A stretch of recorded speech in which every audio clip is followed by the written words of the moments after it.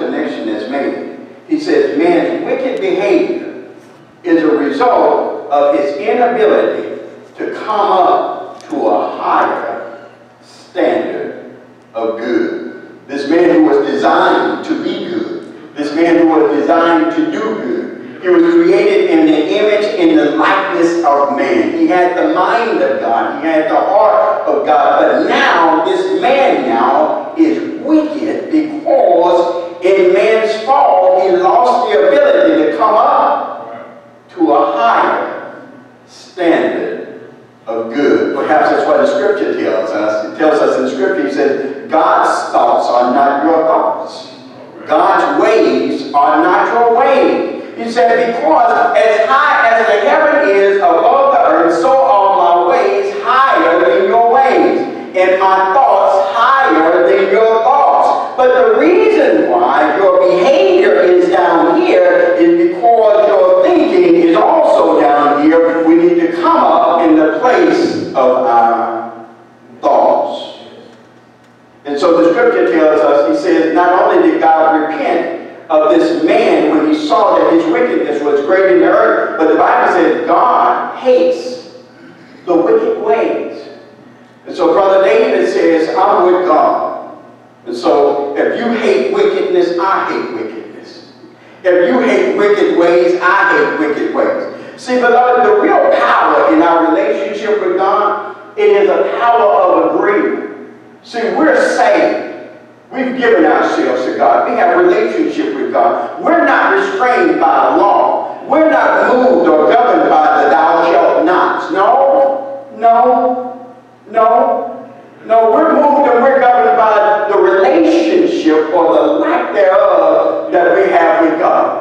David says, I have relationship with God, and because I have relationship with God, if God hates it, I hate it. He said, he said, so, so those now who would speak against him wickedly, he said, I got a problem with that. He said, those now who would rise up against him, he said, I got a problem with that. He said, do I not hate them, O Lord, that hate you also? He said, am I not grieved by them who would rise up against it? I hate them because they hate you. Now watch this, beloved. Watch this, because I don't want you to think that Brother David is one who is filled with hatred for his fellow man. See, you don't have to hate your brother to hate his ways. And, and, and, I don't hate his way because of him. I hate the way because it is that which is in opposition to God. And so the Bible tells us that if I'm going to have a right relationship with God, this has to be my mindset. This has to be my attitude. Proverbs chapter 8, verse number 13 says it this way. He says, the fear of the Lord is to hate evil. Now, now, now watch this, because you see that in some other places in Scripture, uh, because there's another place in Scripture where it says the fear, the fear of the Lord is the beginning of knowledge. Uh, in another place, he says the fear of the Lord is the beginning of wisdom. He said, you can't even begin to have a right relationship with God unless there is a right reverence for God. See, how you see God really determines how you're able now to receive the promises of God that He has given us in His Word. See, many of us, when we were out there, when we were lost and needed to be found, when we were able now to hear the Word of God, come into agreement with that very same Word, and allow uh, ourselves to see God in a place of our understanding as a Savior. I was able to receive Him as a Savior, and I was saved. Now, if we're going to receive anything else from God, I need to be able to see God in that way. And so when I can see Him as a deliverer, I can be delivered. When I can see Him as a healer, I can be healed. When I can see Him as a provider, I can trust Him enough to lean and depend on Him to provide all of my needs. And He said it, Brother Roy, in His Word. In His Word. And so, and so he goes on to say, he says, so now, if I'm going to have a right reverence for God, I hate evil. And he said, evil is that which is opposed to God. So he says, I hate pride. Mm. All right, that went down, brothers. That's a big one for us. That's a big one for us. He said, you've got to hate pride. He said, you've got to hate arrogancy.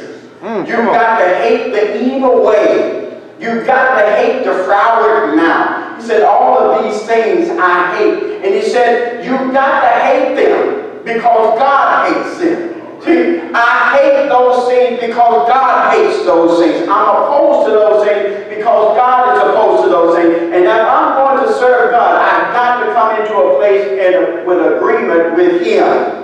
Matthew 6 and 24 he says it this way. He says it, he says, a man, there, a man cannot serve God in the world. Can't do it. He said, so you're going to either hate the one and love the other, or, or, or else you're going to hold on to the one and despise the other. But if you're going to have a right relationship with God, you've got to let some things go. Perhaps that's what the scripture tells us in Acts 13, verse 22. It says now that David was a man after God's own heart. David didn't say that. David neighbor didn't say that. God said that. The scripture says that when God now removed Saul, he said he raised up David to be a king unto his people. And, and, and, and God himself gave this testimony of David. He said, I found him. See, see, see, see, beloved, see, see that's, that's what happened when you were lost. You didn't find God, God found you. He Come said, he said, I found Brother David. I went looking for him. I found Brother David. Well, the scripture says the eyes of the Lord search to and fro throughout the whole earth, looking for those whose heart is set upon him. And when he finds him, he stops. He locks in. Come on. He makes you the apple of his eye, and he keeps you there. He said, I found Brother David. I found David, the son of Jesse.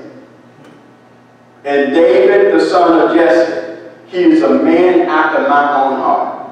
And because I know he's a man after my heart, I know he will do all my will. And not only will he do my will, but he'll do it my way. Uh, this word after, beloved, and then we'll move on. This word after, in the Greek, the word is kata. It actually means, it actually means according to. Right? It means now coming down from a superior to an inferior. So now Brother David was after that which he could only get from a superior being. And when he found it, he now came into alignment with it, and that which shaped now his understanding from that point forward was according to not his thinking, but God's thinking. And so now, this word also means, beloved, from a metaphorical sense, it actually means now to turn to. But now it's all one motion. For he says, as I turn to, that means I have to turn from. Uh, are you with me? You with me? So, so now he said, as I turn to God, I've got to turn away from the world. See, see, every time you reach for something of God, you've got to let go of something in the world. Every time you reach for that which God has set before you by His divine counsel, it's going to mean you're going to have to let go of something behind you. See, because God is the one who opens doors, but God also closes doors behind you. If you have the courage to step through the door. He says he was a man after God's own heart. He said, David said, all that I want from God. I've only asked him for one thing.